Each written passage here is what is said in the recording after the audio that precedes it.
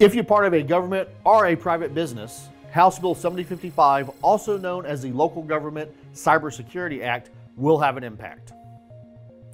I'm Curtis McCallister, and this is Moore on Technology. Let's talk about it. HB 7055 has outlined a number of new requirements local governments must follow from the implementation of training to required reporting timelines. Now, I want to be clear. There has always been reporting guidelines in place in the government community. And many private sectors have them as well. So this is nothing new. Training has been recommended for years. With HB 7055, the requirement for both are being shored up better defined and more structured. Also, what I would argue is the most impactful of HB 7055 is the rule that no local government will be allowed to pay a ransom. This is a very big deal. I'm going to explain why. But first, let me start by saying that I don't ever want to pay a ransom to recover my data. I don't want the organizations that I support to pay a ransom, as doing so propagates a cycle. You know what they say if you give a mouse a cookie, it's going to want a glass of milk.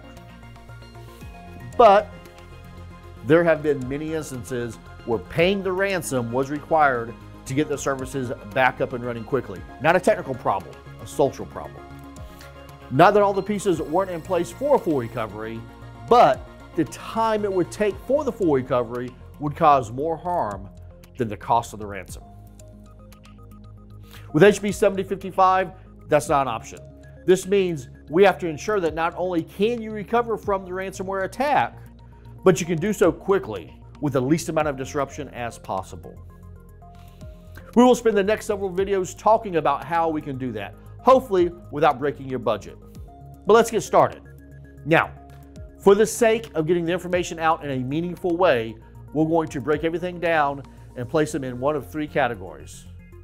There is not one category that is more important than the other. They all work together and often complement each other to provide a whole solution. We're going to break them down into people, technology, policies, and procedures. We will jump into the technical details in the next video. Until then, gather your organization's policies, your cybersecurity, disaster recovery, and business continuity. And if you don't have them, don't worry. We're going to go into what should be in each of these. Also, if you currently have a cyber liability policy, get a copy of it and review the requirements and the coverages. They're important to know. Until next time, if you need more information, give me a call. We'll talk about it. To learn more about how James Moore's Technology Solutions consultants can help you and your organization, give us a call at 888 387 6851 or visit technology.jmco.com.